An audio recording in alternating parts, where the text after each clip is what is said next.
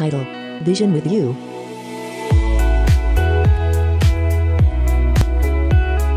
Let's check in. Welcome to Low Vision Life. Grow up with you. Journey. Are you ready?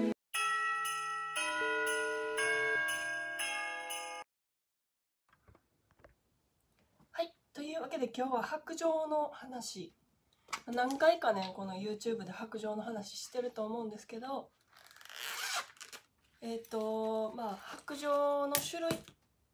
について話したいと思います。それぞれ利点があります。まず、えーシンボルケーンって言って、まあ、馴染みないかもしれないんですけど、こういうね、この黒やったら分かりやすいかな。背景がね、壁が白いんでね、分かりにくいんですよね。で、こういう今手に持ってるのが、えっと、手のひら片手の手のひらと片手の指先を、えー表現難しいな。片手の指先伸ばした感じの指までの長さぐらいの長さの白状を今手に持ってます、まあえっとでっかいあのボールペンじゃないな、えーでっかいマジックペン想像してもらったらいいです。あのジャニーズのねコンサートのねあのペンライトとかと大体同じ大きさやと思うんですけどあの k p o p とか、まあ、アーティストの人たちのあの、えー、と手持ち持ち手部分の黒い持ち手部分の先に紐がついてて、まあ、これをまあ歩くあの使う前にこう掴んだりとか、まあ、ストラップになってるかどっかにかけれたりとか多分そういうあのイメージで使うものやと思うんですけど、まあ、まず注意点があってこれこのねあの紐ついてるんですけどこここれにこう絶対にやったらあかんのがあの手を通してこう白状を持つ。っていう、まあ、持って、まあ、実際に出すと、えっと、持つ時にこういう、まあ、握手人とね「こんにちは」言うて握手するじゃないですか。その握手の手をして持ちます。あの前ねツイッターで何日か前にあの鉛筆持ちって言ったんですけど鉛筆持ちねつ手つるんでねダメですからね。えっと、まあ、握手の手してもらってグッて握るのをやるんですけどこの紐にね手を通して絶対にやらないでください。これあの普通の白状とかでもそうなんですけど紐に手通してやると何が危ないかって言ったらチャリンコに巻き込まれたり、まあ、自転車ですね。自転車に巻き込まれたりとか、まあ、車にね挟まったりとかまあ、道の溝とかに挟まったり、まあ、道路ギザギザしてるところに溝に挟まったりとかした時にやっぱね手が折れたりとかあの巻き込まれて、まあ、自分が亡くなっちゃったり死んじゃったりとかするリスクもあるので絶対にこの持ち手の部分白状の持ち手の部分には噛んだ、えー白状の持ち手の部分には手を通さないことをえー、とルールにしてほしいです。えこれはなんかあの危ないよって教えられるので最初に白状を持った時に最初に教えてくれるのででねこのもう一回戻すとこの折りたたみのねまあえっ、とマジックペンサイズライブのコンサートのペンサイズの白状を伸ばすと、まあ、大体身長えっ、と110センチまで伸びます。先は結構細いですね。先はねそれこそほんまにあのシャーペンぐらいあの学校とかで使ってきた鉛筆シャーペンぐらいのあの先の細さになるからこれで例えばこうやってついて歩こうなんて思っちゃダメですからね。これはあくまで、ま、手引きされてる時とか、まあ、一人でまあ歩くけどあなんていうんもうほんまに緊急の時。緊急の時というかまあ持って見せるだけ。ほんまに見せるだけ。だからねこれで例えば階段探ったりとかして例えば体重かかるでしょ？体重かかったらどうなるか。も実際にやってみようか。あの体重かけたらこういう今カチャって音鳴ったの分かります？この短くなるんですよその衝撃で。例えば地面に危ないって言ってこれ持っててドンってついたらこうやって一番最初の、まあ、長さまで戻るかもうちょっと短い長さまで戻るかしてしまうのでまあこれでね分かると思うんですよ。あのどんだけこのシンボルケーンだけで歩く、まあ、スライド式のねシンボルケーンだけで歩くのが危ないかっていうことを、えー、とこれでご理解いただけるんじゃないかなと思って、まあ、この杖に関してはあの支える能力はないですまず、まあ、シンボルの役目だけですねあるのは。あるのはシンボルの役目だけで支えるとか、まあ、探る。探った時に、まあ、例えば衝撃吸収してくれる。とかそういう能力はないです。なのでこの杖の能力持ってる能力は、えーただのあのまあ白状を持ってますよ。っていうことだけです、まあちなみに白状って、まあ、視覚障害者以外も使うので例えば平行感覚に障害のある人とか聴覚障害の持ってる人とかあとはあの足が不自由な人とかあとは脳の関係で、まあ、視野視力に何かしら弊害がある人とかあとはあの手帳持ってなくても使えるんです。あの難病指定の病気とか、まあ、難病指定すらされてないけどその見え方に異常があるだとかその歩くのが難しいとかちょっとまあ助けが必要。あのちょっと助けが必要な視覚的に助けが必要な人とか、まあ、体的に助けが必要な人が持つものです。まあ、多くはね視覚障害者イコール白状になっちゃってるのでまあえードラマの「恋です。ヤンキー君と白状ガール」の。おかげでまあちょっと弱視の人も白状を持ってるよっていうのを認知されたんですけれどもまあ他にまあえっ、と他に視覚障害以外の人が白状を持つよっていうのが認知されなかったのでここで言うとこうと思って言いました。めっちゃ大事なことなので。はい言いました。はいこういうちっちゃい白状もありますよっていうことです。まあなんでこれを言うたかっていうとあの視覚障害者だけがなんていうんかな白状を持つことによってなんか優遇されてるみたいな、まあ、聴覚障害のね人からね私が直接言われたわけではないけどその視覚障害者はいいよね白状を持ってたら分かりやすくてみたいなのをその聴覚障害の、まあ、あるね方がねツイッターにね書いてはってん。結構ね結構な数ね見たんですけど。でも聴覚障害の人もまあ人によるかもしれんけど白状を持てるし、まあ、盲導犬じゃなくて何？あの白状も持てるし聴導犬なんて使えるからそれ使ってたらいいやんっていう話でまあ使えないね難聴の人とかもいるんですけど私も一応難聴なんでその辺はねあのまあ手帳に引っかからない範囲での難聴なんですけどそれはそれである種大変なんですけどね。だから大変やから私どうしてるかって言ったらめんどくさい言うてあれやけどえっとあの白状のもう一回出すわ。白状のこの先にあの弱視難聴って言ってプレートそれを、まあ、アレンジして白状にくっつけてと歩行したりしてます。私これこのねさっき紹介した折りたたみの白状スライド式の折りたたみの白状を使う時は例えばもうほんまに手引きされる時とかまあなんか用事とかで、まあ、人にこう気づいてもらうためだけ、まあ、待ち合わせで自分が絶対動かへんでっていう時にあの人から気づいてもらうためとかに使う。まああのあれですねコンサート終わった時にあの挨拶の時とかに気づいてもらうためやとかまあ避けてもらうためやとかそういう時だけに使います。だから歩行で使ってるわけではないですこれを。はいっていうのを言いたかったです。まあ歩行で使うのはだから手引きの時だけ。はい。これはそういう役割があります。はい。でえっ、ともう一個。もう一個は同じ2つ目ね。2つ目は同じ白状の、えー折りたたみ式なんですけど今度はスライドじゃなくて、まあ、折りたたみ式言うてるか折りたたみなんですけどちょっと待ってくださいね。なかなか伸ばされへんくて。えっともっと細いまあこれもシンボルケーンですね。いた。もっと細い。あのこれね注意してください。手挟まるんで。えっともっと細いやつで、えっとこれ ID ケーンって言ったかな。ちょっと商品名忘れちゃった。あのすごい細いものです。えっとこれもだいたいあのボールペンぐらいの長さですかね。手パーしてちょうどぐらいの長さ。私の手ですいませんけど。テーパーしてちょうどぐらいの長さに最終的に折りたためる長さの白状なんですがえっ、と私が発注したのは100 120センチのちょっとちょっとあと5センチ低くてもよかったかもしれん。あのシンボル剣やから。うんあのの長さ120センチの長さのシンボル剣をえっ、とまあ発注しました。私の場合はね人によって長さが違うのでだいたいね身長引く40センチって決まってるんですけど目安でね。まあプラスまあ好みで低い人が低い人がっていうとまあ基本的に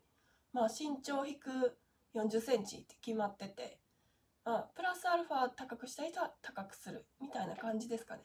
あんまり短くしちゃうとまあ探りにくかったりとか使いにくかったりするので、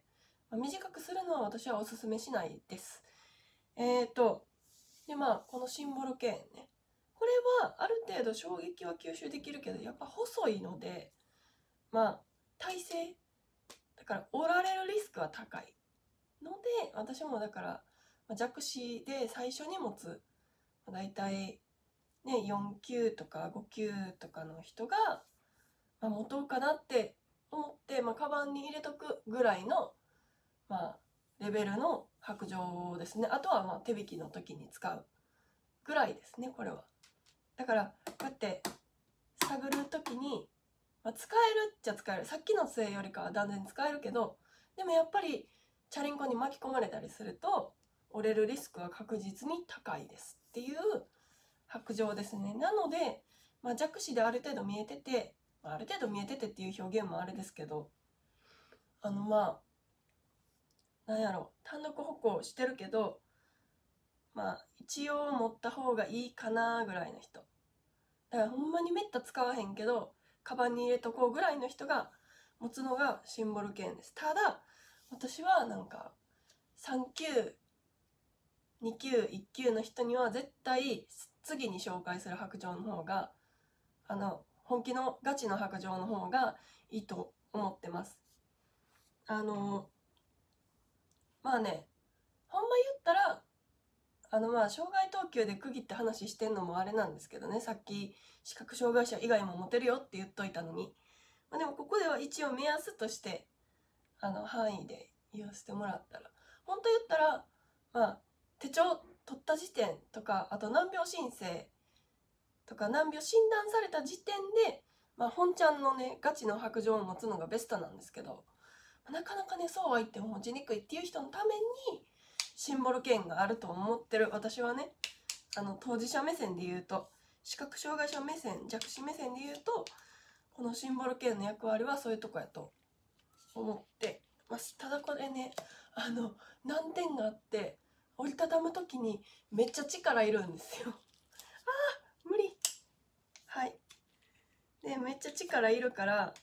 まあ大変大変っちゃ大変。よあかんわ。これねめっちゃ力いるんですよ。よいしょいけた。はい。めっちゃ力いるんでまあその辺はねあのいい感じに頑張ってもらって。はい。で最後。最後はねこれこれチョイスするの私間違ってるかもしれへんけどまたあの今発注してる白状が届いたら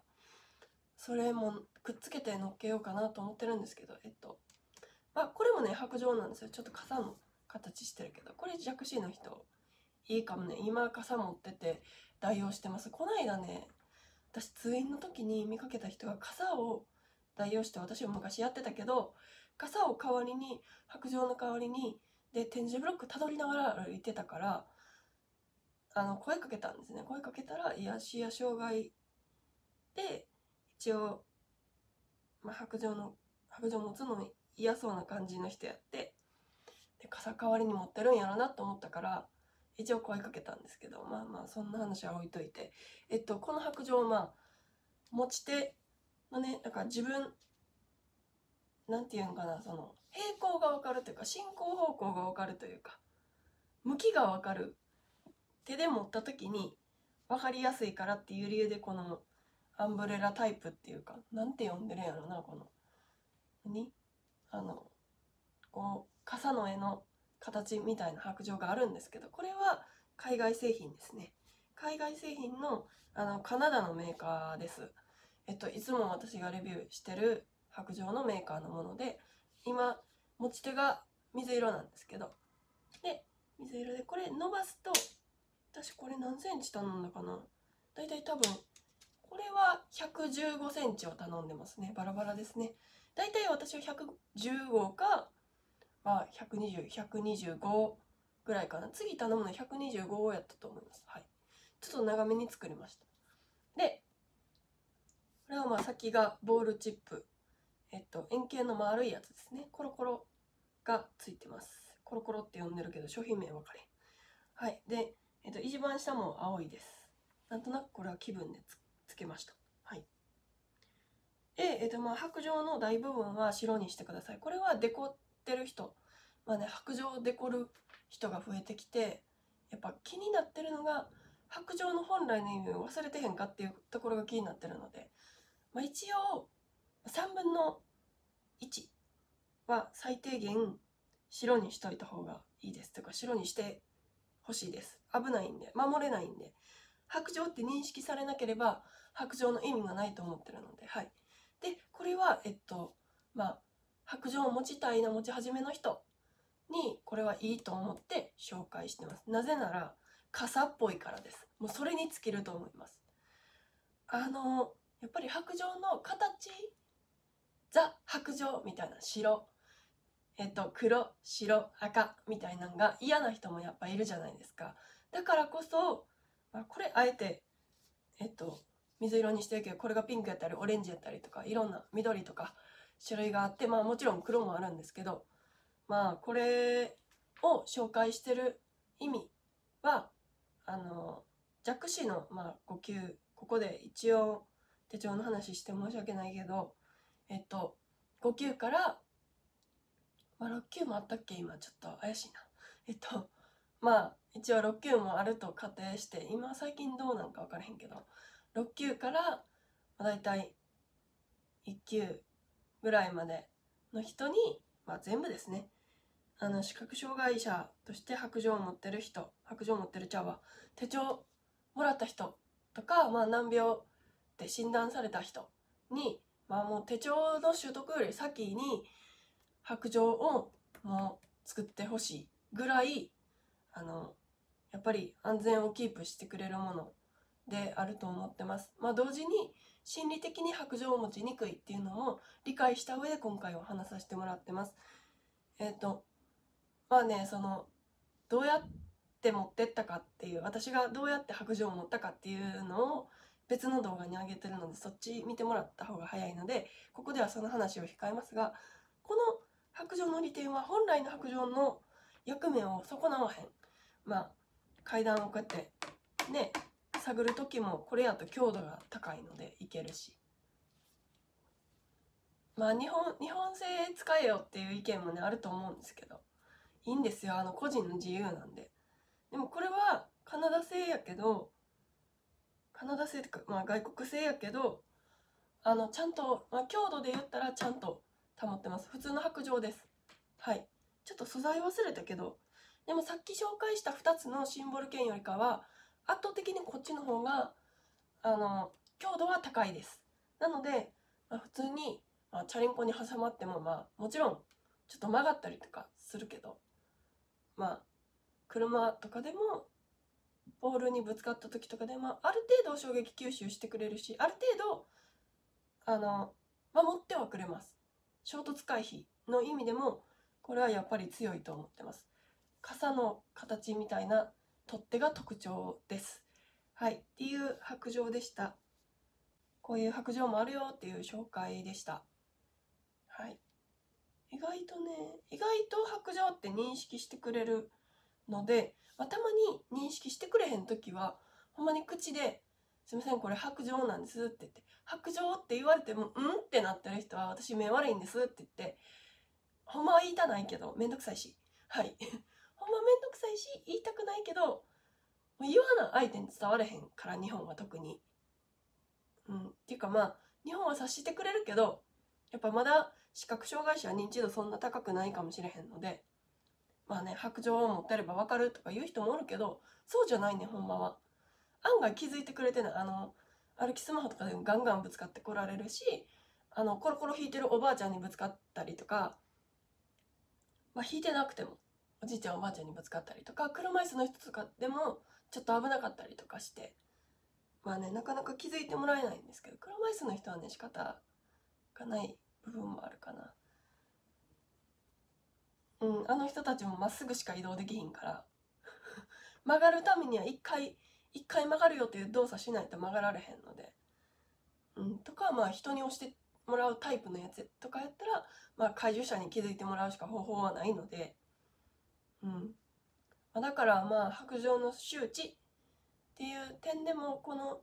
ねあの傘の絵タイプの白状でいいから持っとくのがベストやと思います。メリット。も少なからずあると思うのでまあそうじゃないこともねあるんですけど。でもいい点があると信じて私はなんかあえて持つようになりました。今回の「恋ですヤンキーくんと白状ガール」の